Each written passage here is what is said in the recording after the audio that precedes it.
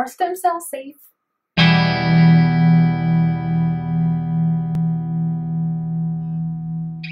Hey guys, it's SC Jules, aka Sharina, and I'm back with another video.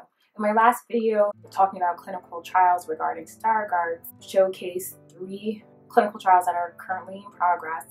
Now, I'm going to switch up the order of doing things because ACT came out with preliminary phase one clinical data for their stem cell therapy. So last month, back in October, ACT published their preliminary phase one clinical data in the Lancet about their stem cell therapy and to show if it is safe. And that's basically what a phase one clinical trial is supposed to look for is to find out if a procedure or a product or medicine or therapy is safe to use on people. They did two trials. One was for age-related macular degeneration, which is very similar to Stargardt's, but it, it occurs in older people and then for Stargardt. So nine patients with Stargardt's and nine patients with AMD. The concern with stem cells is the fear that the cells might damage tissue in the body, might turn into a different cell, or could cause tumors.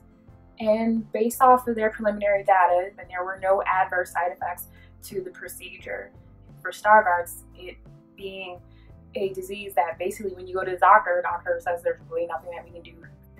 And this is really great to further this science that this could be a potential treatment for Stargardt. So what exactly happened? So how was a procedure done?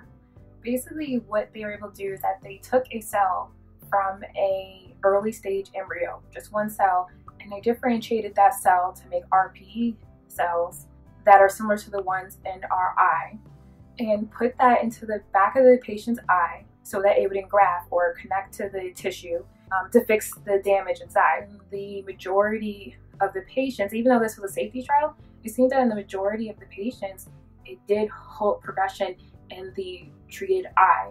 Um, there were only cells that were put into one of the patient's eyes, not into both. So I just want to clarify that. It seems that it did improve people's vision.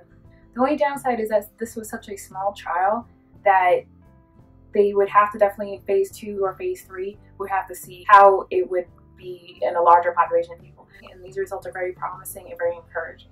If you are interested in participating in the clinical trials, I would highly suggest that you share the Lancet article and the clinical trial data from clinicaltrial.gov on these trials with your doctor, with your ophthalmologist, your eye doctor, your primary care doctor to see if you would be an appropriate candidate down below in this video, I'm going to put a link to one of my latest blog posts. This kind of some background on what stem cells are if you're curious about them.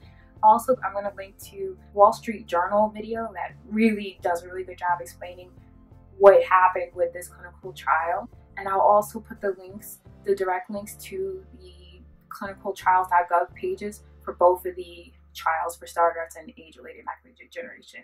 So otherwise, I will see you later. Bye-bye.